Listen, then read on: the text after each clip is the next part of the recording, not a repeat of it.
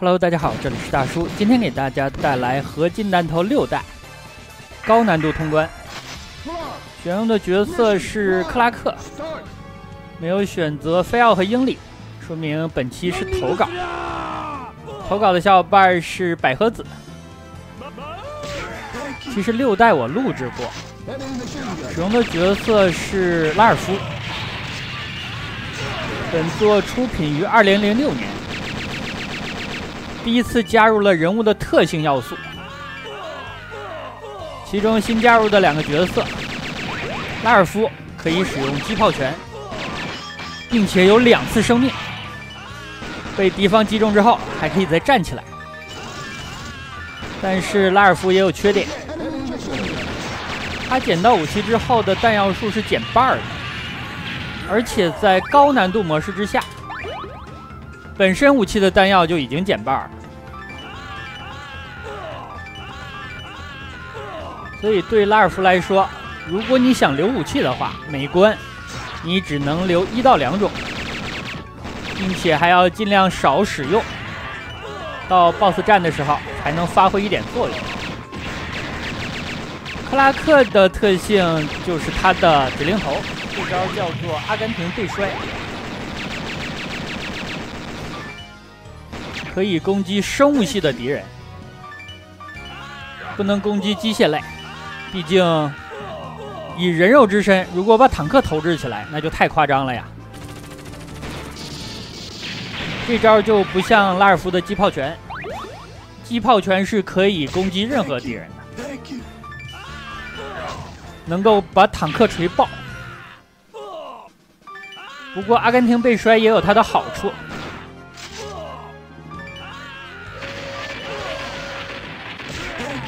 每次投掷敌人之后，克拉克会进入短暂的无敌。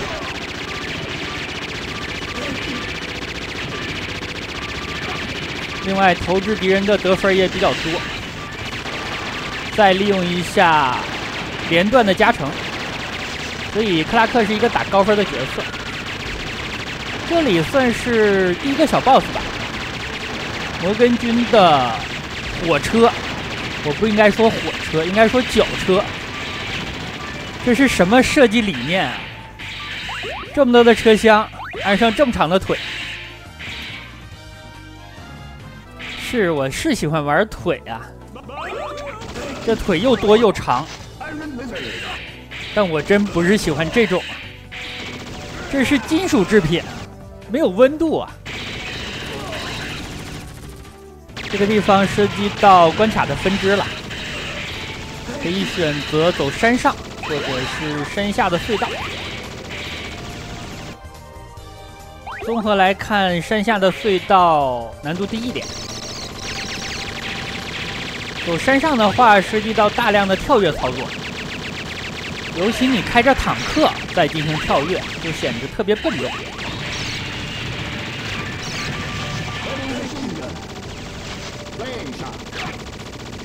游戏的流程一共是五关，不知道为什么这么短啊！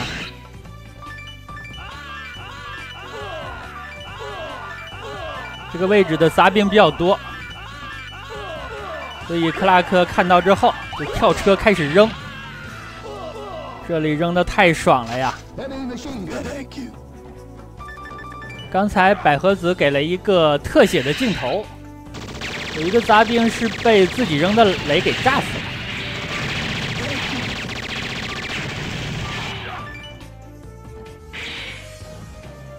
第一关的 BOSS 战，这个 BOSS 叫做公牛钻头，它是一台挖掘机，所以在作战的能力上有所欠缺。另外，大家可以在这个位置看见驾驶员，明显不是蓝翔毕业的呀。进入了二形态，BOSS 狂暴了，掏出了他长长的钻头，钻头还没有伸出来就已经完事儿了。这是病啊，得治啊！我第一次接触这款游戏是在 PS2 的主机上，我那台机器的型号是七万六。比较薄，还带一个底座，可以竖着放。我记得当时一共有两张合金弹头的游戏盘，一张就是本作，另外一张是合金弹头 3D，。但是 3D 我实在是玩不好，它的视角操作让我非常不适应。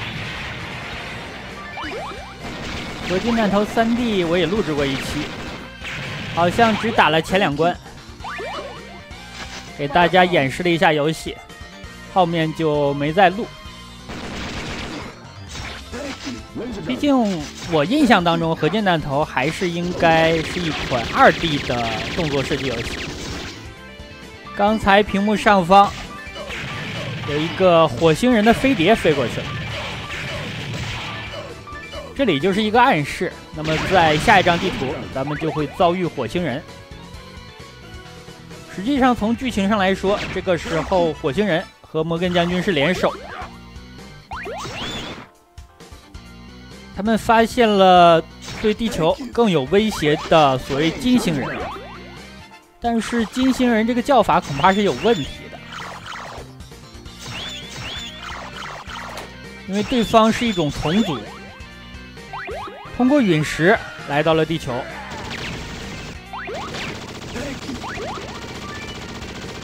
这个地方捡到了本作一个新的载具，一头睡着的驴。这个驴从头到尾都没有睁过眼睛，又挂上了一个车斗。当然了，这不是本作最奇葩的载具。本作最离谱的载具是火星之根。但那个地方是一个分支，你可以选择火星之根的路线，也可以选择驾驶飞机的路线。相对来说，飞机的路线简单一点。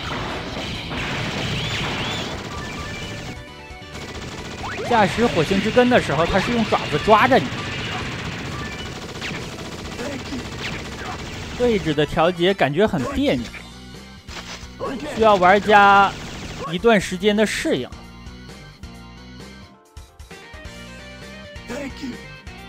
而且那个场景在本作甚至整个系列只出现了一次，所以想要玩的顺畅一点，还是选择飞机的路线。我之前使用拉尔夫走的就是火星之根的路线，给大家演示过了。火星之根有一个强力的炸弹，是全屏的攻击，但是数量不多。你可以当做是救命的手段，但不可以当做常规的输出。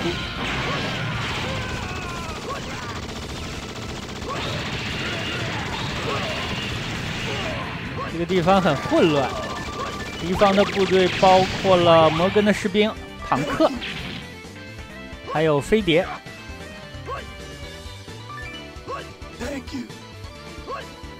不用这么贪吧。伊文字大叔在这儿自己锤门，锤了半天。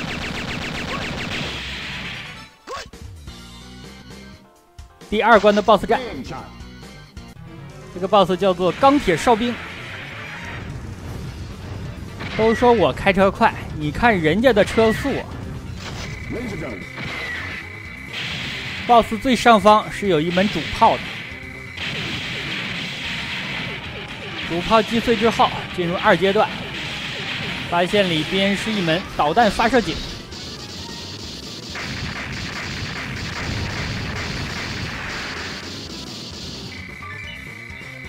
毕竟是来到了 PS 二的主机平台，性能比较强，所以刚才加入了非常夸张的镜头缩放效果。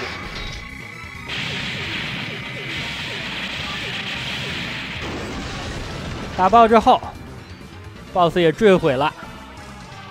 之后有一小段的剧情，这里就交代了摩根将军和火星人加在一起都打不过金星人，所以后面是一个难得的三方联手。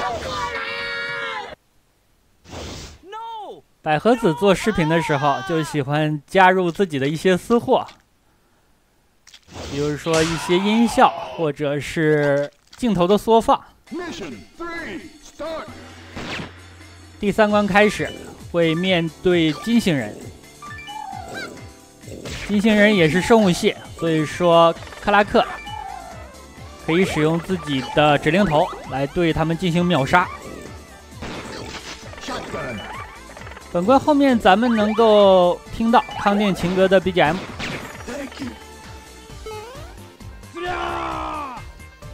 刚才一个跳跃，躲过了敌方的突进技，然后回头用指令头，感觉是在玩拳皇啊！在合金弹头系列加入克拉克和拉尔夫，真的是比较新奇。所以现在回想起来，我可能就是因为本作才买的 PS2 的主机。当然了，还有《三国无双》和《怪物猎人》，实在是没办法抵御这几部作品的诱惑呀。那个时候我在沈阳打工，最开始工资是一千一，房租六百。所以每个月只能省吃俭用，这么点工资买游戏机肯定是不可能了。我记得中午的时候盒饭是两块五到三块，但一般我就是一个一块五的韭菜盒解决问题。后来跳槽，我记得是零五年的五月份。到新公司之后，薪水突然翻了四倍，这样才能除了攒钱之外，买点自己喜欢的东西，所以才有了自己人生第一台 PS2 主机，算是得偿所愿吧。刚才百合子是不是又加私货呀？我听见了梁非凡。说到梁非凡，我就想起了最近非常火的九转大肠的梗这两个梗放在一起真的很配啊！又来一次啊！这次听得清楚。所以百合子不仅合金弹头系列玩得好，而且也很皮呀。哦，对了，我想起了百合子跟我说，他玩的这个版本是 Win 版。但是我当年玩的是 PS2 的版本买游戏盘的话就去百脑汇，大概四到五块钱一张。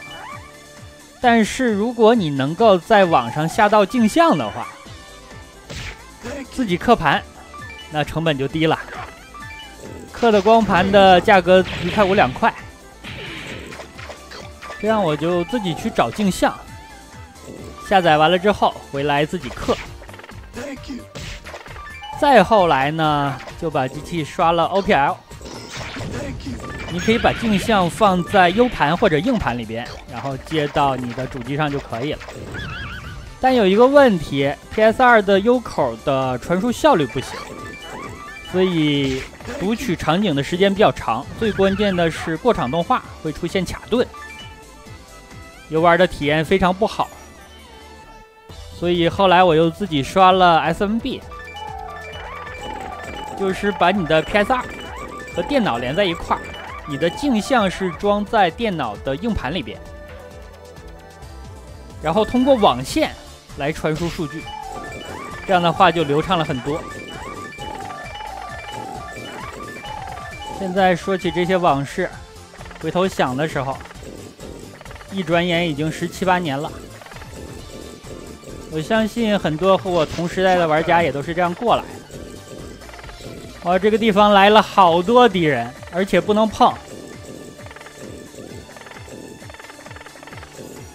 这个场景如果还是在街机的基板上玩的话，会进入严重拖慢的节奏。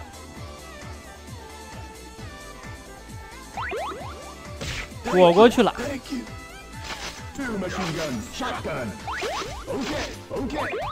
克拉克的近身攻击是伸腿，就是拳皇里边他的远距离站立重脚。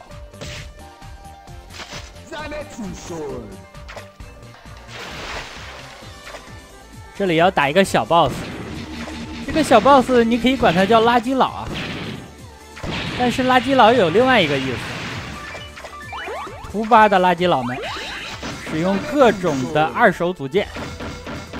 组装电脑的小伙伴们，我昨天看见一个想用八十块钱吃鸡的，散热器用的是半截白萝卜。这里是第三关的 BOSS，大脑机器人，这个家伙不好打，他的攻击花样特别多。你想一下，两个人激烈的进行战斗。有一方按部就班，但另外一方有特别多的花样。那你想你怎么顶得住啊？那绝对会陷入被动的，很可能人家三招两式你都挺不过来，就交代了。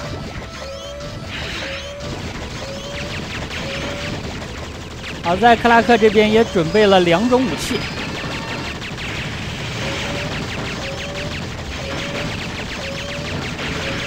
而且是开着载具，这个载具应该是没有耐久的。BOSS 攻击的还是你的本体。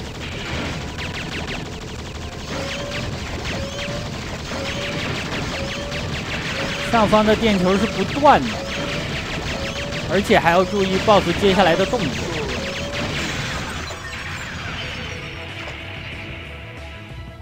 合金弹头系列我最熟悉的是二代。所以玩六代的时候就感觉六代的 BOSS 比二代难多了呀。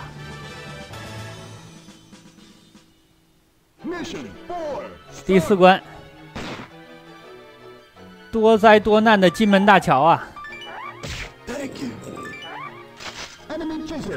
所以每次人类遭受重大的侵略或者是灾难的时候，是否都要献祭一次这座大桥，才能够度过危机啊？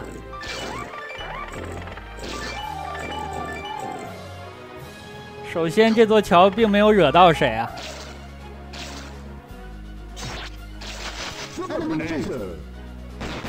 本关的分支路线就是之前提到的，你选择是驾驶火星之根，还是打飞啊？不是开飞机，差点说错了。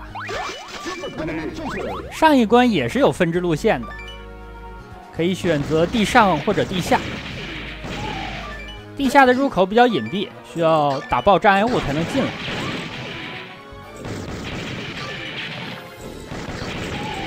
好像只有第二关没有分支。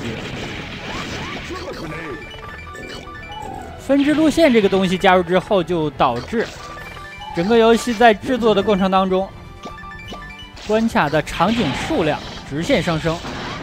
虽然本作名义上只有五关，但实际的长度。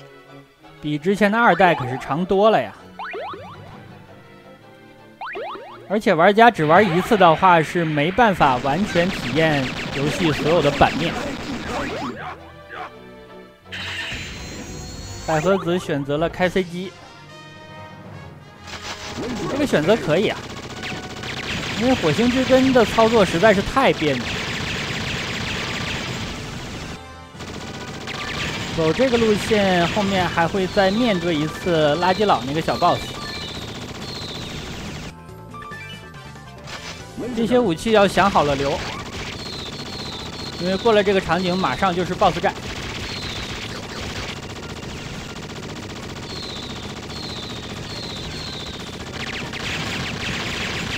对面的虫族看起来种类也是很多。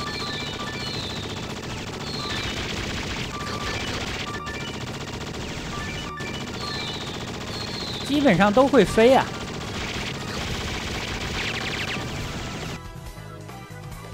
这个场景玩起来有弹幕游戏的感觉。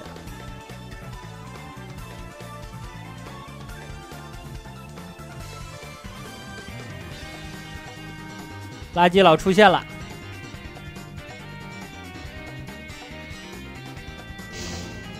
对面把自己身体周围的这些护身浪的差不多。也就跑了，不需要咱们开一枪啊。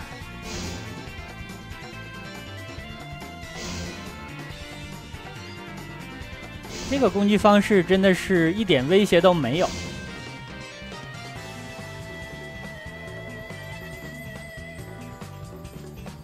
后面就是本关的 BOSS 战了。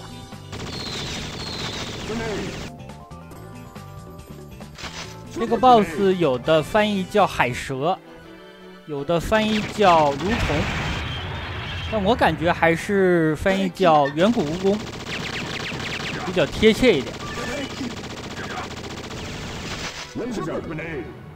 刚刚这艘船，可能大家也很熟悉了。摩根将军的大记号，应该是摩根军在打捞的时候不小心惊醒了这只远古蜈蚣。这个 BOSS 的城市化特别强，他每次的出场位置，还有攻击方式。玩家都可以找到方式来应对，尤其是你有载具的情况之下，难度会更低一点。否则，像刚才蜈蚣旋转身体的时候，你跳跃躲避操作就比较极限了。这种攻击方式应该是比较难对付的一种，一般来说需要在安定位蹲下。利用近身攻击来保护自己的安全。现在这个位置，BOSS 就是要吐大量的毒液，